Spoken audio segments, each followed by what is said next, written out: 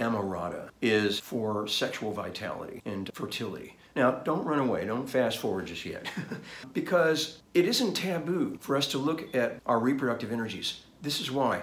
When our body produces the right ratios of the reproductive hormones a little bit more testosterone for men, a bit more progesterone for women. The body recognizes itself as a viable reproductive vehicle, and then hormones will start to be synthesized that are good for the skin, like superoxide dismutase or SOD, which is a wonderful anti aging hormone. You see, when we go to the sexual energies, it's the quickest way to fast track our youthfulness and revitalization. We can certainly burn ourselves out using sexual energies wrong. And Mantak Chia and other people have books on the cultivation and how to share those powerful energies with your loved one. But don't run away from the idea of fortifying that base chakra energy, male and the female gonads.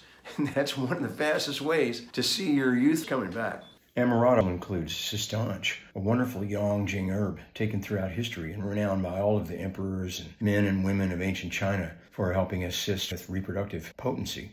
And then epimedium, and that's known as the horny goat weed. and it got this name because in the ancient times, goat herders would find that their goats would eat the leaves from this plant just before going into their mating season. And so it was referred to as horny goat weed. But this is a wonderful herb for overall health. Amorata a great formula for all people, for their growth and their strength. All right.